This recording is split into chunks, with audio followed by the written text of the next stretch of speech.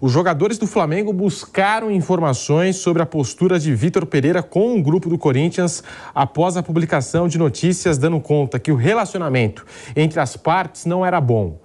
As conversas com os corintianos deixaram os flamenguistas em estado de alerta, tá? A informação saiu hoje no portal Globoesporte.com e tá aí, ó. Logo que o Flamengo avançou no nome do português, foram feitos os primeiros contatos entre atletas das duas equipes. Os rubro-negros ficaram a par de alguns episódios e críticas públicas, primeiramente a Roger Guedes e depois a Cantijo, que pegaram muito mal dentro do elenco corintiano.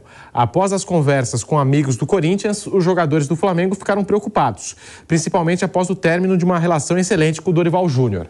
E aí, pilhado, sobre esse assunto, a gente sabe, né? Os boleiros são amigos, né? Quem joga no Flamengo é amigo do pessoal do Corinthians, tal, eles buscam informações mesmo, né? Muita gente elogiava dentro do Flamengo o Dorival Júnior pela capacidade que ele tinha dentro do grupo, né, de juntar todo mundo, tal. E agora tá chegando o Vitor Pereira e os jogadores já buscaram informações com os colegas, com os amigos de Corinthians.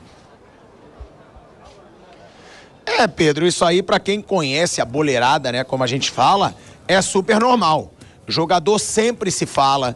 Jogador, inclusive, quando ele vai se transferir para um outro clube, ele fala com jogadores desse clube, ele fala com ex-jogadores desse clube. E a mesma coisa, com certeza, acontece com treinadores. Né? O Vitor Pereira saiu do Corinthians, foi para o Flamengo. É normal que jogadores do Flamengo mandem ali uma mensagenzinha no WhatsApp, façam uma ligação para algum jogador do Corinthians. A gente sabe que tem jogadores ali que são amigos, inclusive o Vidal e o Renato Augusto, por exemplo, são muito amigos, jogaram juntos no Leverkusen. O Renato Augusto, inclusive, que ensinou o Vidal a gostar do Flamengo, ele que cavou tanto para jogar no Flamengo. O Cássio já jogou com alguns jogadores do Flamengo na seleção brasileira, inclusive com Everton Ribeiro. A gente sabe, né, que esse contato ele existe de jogadores de futebol. E a situação do Corinthians, o próprio Vamp chegou a trazer no programa algumas vezes alguns questionamentos dos jogadores, não só o Vitor Pereira, mas a equipe do Vitor Pereira.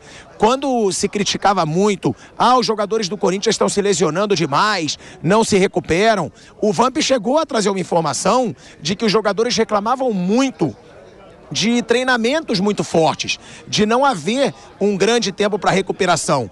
E assim, é, havia ataques para o departamento médico, para os jogadores, quando na verdade eles questionavam o trabalho do Vitor Pereira, da preparação física do Vitor Pereira. A gente sabe o quanto o trabalho do Vitor Pereira chegou a ser questionado por alguns jogadores do Corinthians.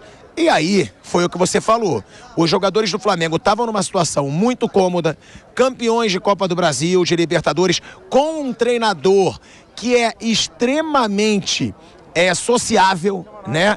É um cara que se dá muito bem com os jogadores. O Dorival, inclusive, ele foi aprovado por alguns jogadores do Flamengo antes de assumir o clube. A gente sabe disso. É o Bruno Henrique falou com ele por telefone, o Gabigol também saiu notícia de que teria falado com ele, porque já tinham trabalhado com o treinador. Então sai um treinador que tinha o grupo na mão, que tinha um excelente relacionamento, e entra um outro de um jeito polêmico e que tem fama de polêmico, é óbvio que os jogadores do Flamengo vão querer saber tudo sobre o Vitor Pereira. É normal. Agora, o Jorge Jesus era também português, tinha fama de rabugento, era rabugento, brigava muito com os jogadores, mas saiu do Flamengo como um paizão. É bom a gente deixar isso claro. Os jogadores do Flamengo, o que, é que eu acho? Eu acho que o treinador, quando ele é rabugento, quando ele é linha dura, ele se torna paisão quando ele ganha o respeito dos jogadores. Que era o que eu achava do Jorge Jesus. Ele ganhou o respeito dos caras. Os caras viram, ele é chato, mas ele faz todo mundo evoluir. Eu conversava com os jogadores do Flamengo na época, né? Eu estava cobrindo muito o Flamengo nessa época, e eles diziam, cara, é impressionante. Ele tira o máximo de cada jogador.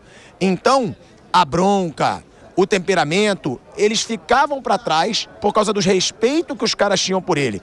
O Vitor Pereira, eu acho que vai ser a mesma coisa. A gente sabe que ele é linha dura, é português, europeu, tem um método de trabalho diferente, mas se ganhar o respeito dos caras, aí tudo ok. Se não ganhar, aí começa a chiadeira, porque é rabugento, porque briga muito. A gente sabe como funciona o futebol. Até por isso, eu conversei aqui com Milton Mendes, treinador de futebol, que está aqui no Catar para a Copa do Mundo, trabalhou aqui por seis anos, e ele diz: a maior dificuldade para um treinador é você lidar com tanta vaidade. Porque você tem muitas estrelas, muitos caras famosos, ricos, e nenhum quer ficar no banco. Então é difícil também.